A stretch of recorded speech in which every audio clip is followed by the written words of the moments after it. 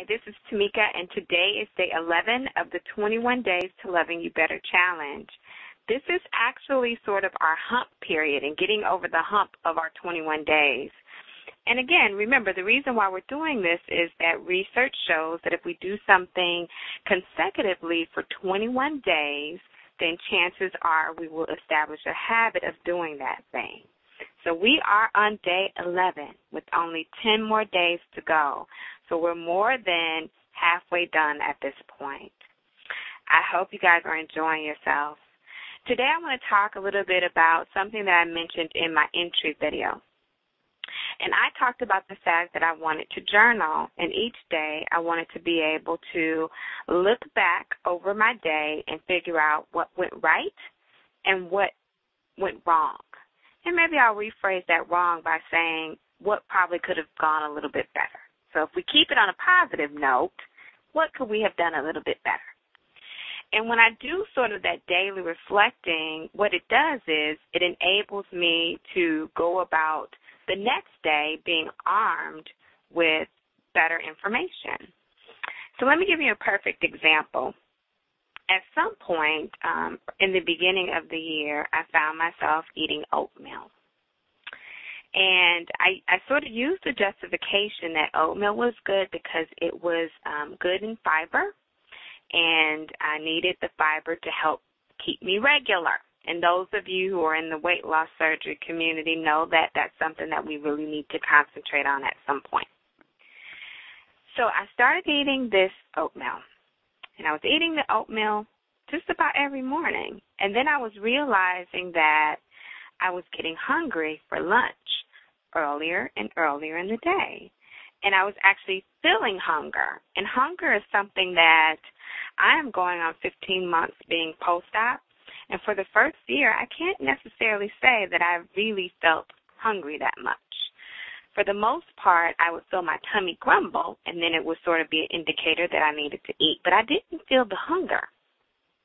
And so when I started sitting back and I was looking over my food journals and thinking about what I was eating, all of a sudden one day it just sort of hit me. Ding, ding, ding, ding, ding. Oatmeal is carbs. Yeah, it's complex carbs, but it's carbs. And carbs don't work well with you. They make you want more and more, and they make you hungry sooner than you need to be hungry. Now, had I not necessarily listened to my body and took the time out to do the reflecting, I probably would have gone on for a while eating that oatmeal. So for me, this is something that definitely works. I've done it throughout my journey.